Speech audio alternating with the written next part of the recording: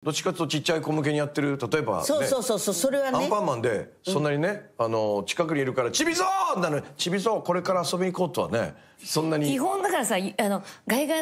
に比べるとやっぱりアニメって、あの全体的に声張りますよね。そうそうそうそうそう、うんやっぱりそうしないとアニメ自体がうあの大きくならないのよ。絵になっていかないっていうかな、うん。生きないのよね全部の